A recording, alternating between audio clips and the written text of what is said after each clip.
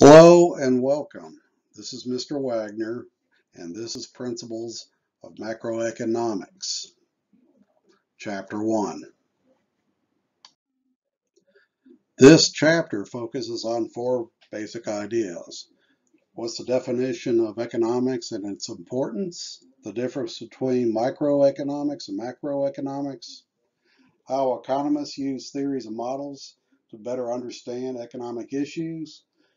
And how to organize economies. So we'll have an overview of the different economic systems.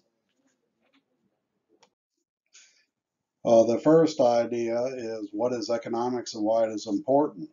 Economics is the study of how humans make decisions in the face of scarcity. Scarcity means the human wants for goods, services, and resources exceed what is available. So basically, the human wants are unlimited and the resources are limited, hence scarcity. Uh, the FRED website has a whole plethora of data that could be gleaned for economic research and it discusses domestic and international economic and social variables over time and could be used later on in this course. The current economic landscape has been totally transformed by the use of social media. Consumers can order goods or services through their cell phone, tablet, or computers pretty much instantaneously, while the producers of goods and services have excellent logistical customer resource management systems that allow for efficient delivery of the good and service. This is unparalleled from times before. Scarcity is a constant theme in economics. Homeless people are a reminder of how scarce resources can impact society. In this case, the resource is affordable housing. People trapped in low wage service or manufacturing types of jobs usually do not make the kind of money needed to buy, buy a home or find adequate housing.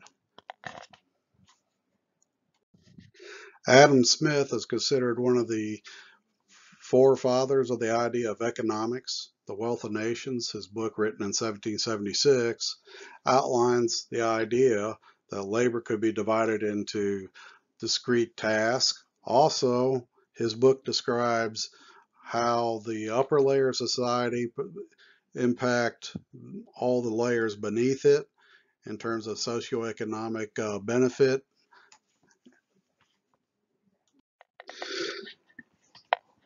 Specialization and division of labor is a phenomenon that occurred in 1850 around the beginning of the Industrial Revolution.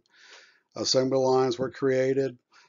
Uh, workers were focused on a handful or singular task and the uh, production of the product would move itself through the assembly line. Uh, this is really kind of an outmoded uh, form of labor division that's been transformed by the introduction of artificial intelligence and robotics. And so labor has actually become a great deal more specialized, especially in the areas of uh, technology.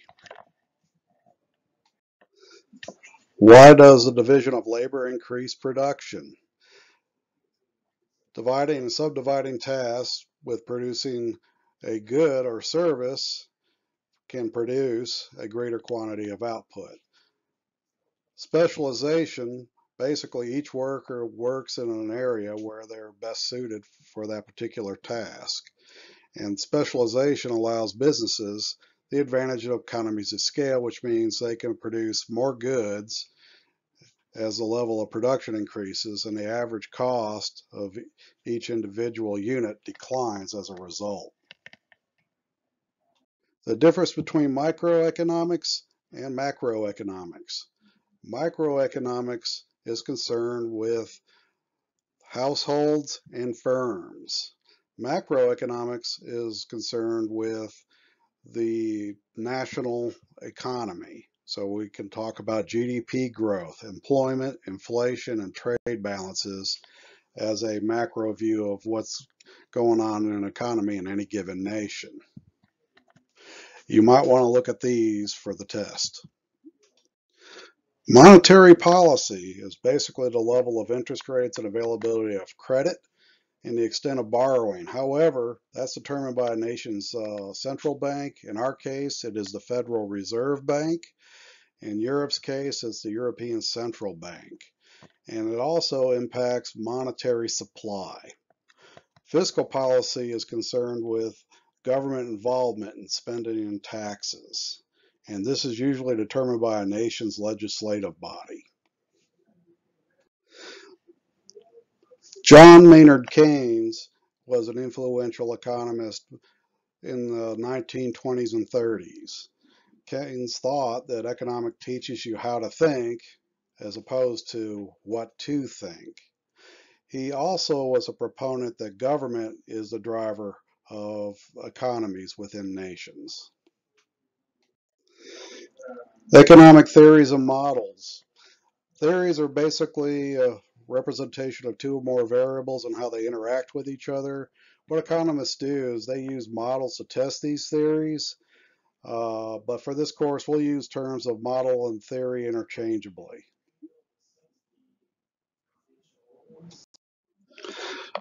The circular flow diagram on this page shows how households and firms interact with each other in terms of goods and services. Goods and services and wages and salaries, you know, flow from firms, basically service providers or producers, to households that are consumers, and in turn, household, you know, households provide labor services, and they are consuming the products, you know, created by the firms.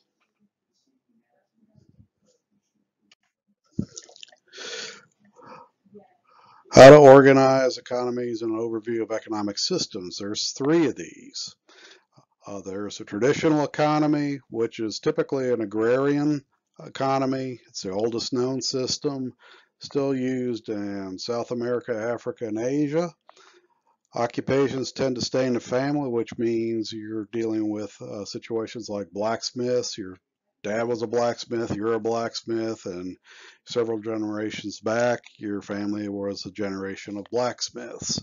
Uh, what you produce is what you consume. That's really more toward the agrarian side rather than the uh, crafts or trades. Uh, little economic progress or development uh, because there's not a free flow exchange of ideas typically.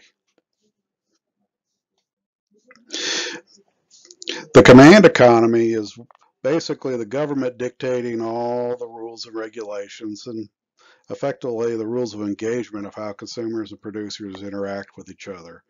First off, the government will decide what's going to be provided in the way of goods and services. The government also will decide how it's being produced and will set wages for workers. And the government will provide things like healthcare and education for free.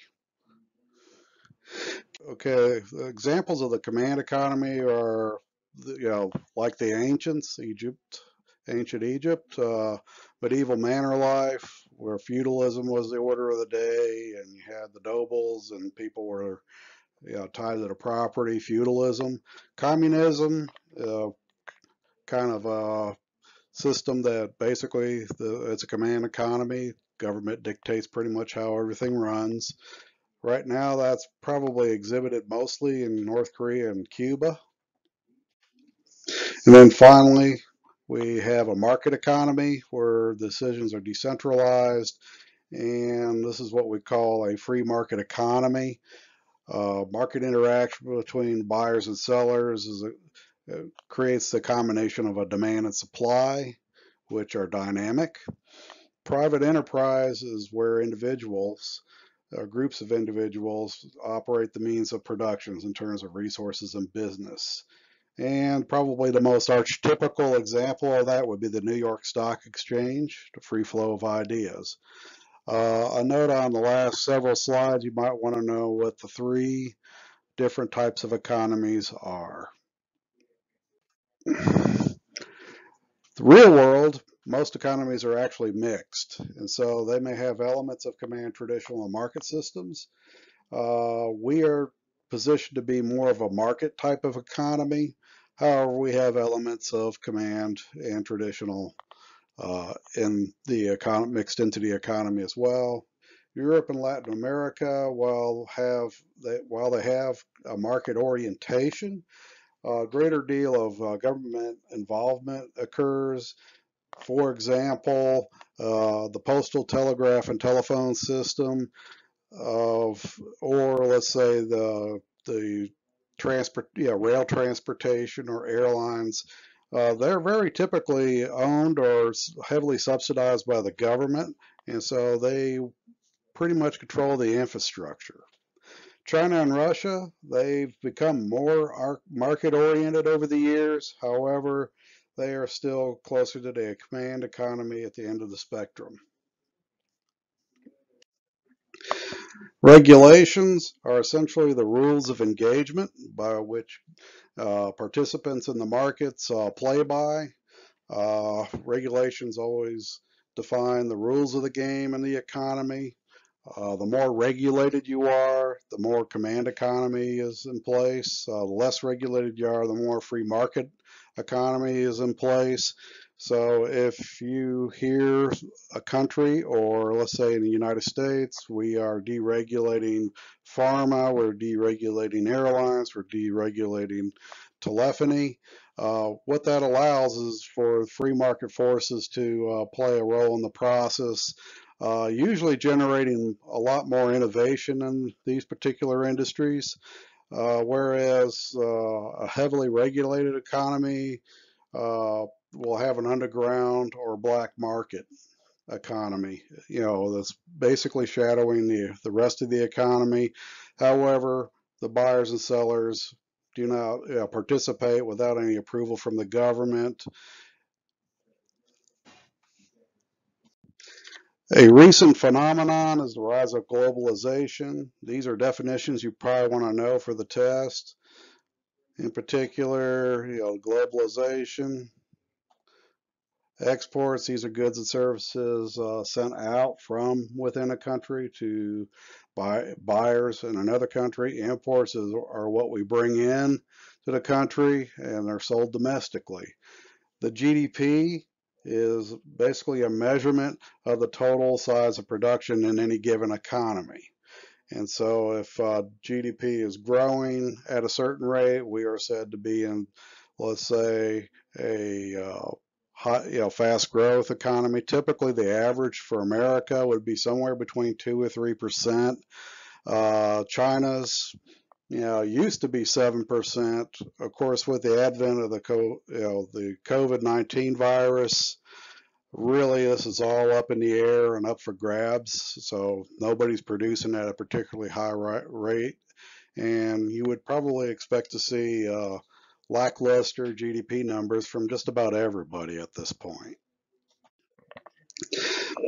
The global economy is made up of countries that basically focus their energies on where they can do best in terms of production, and then they trade with other nations uh, that particular good in exchange for things that other countries will be able to create at a cheaper cost eh, in you know in their system. So the discussion question is what examples of products and services in the modern economy? What are the examples of products and goods and services in the modern economy that typically you know, transfer between nations?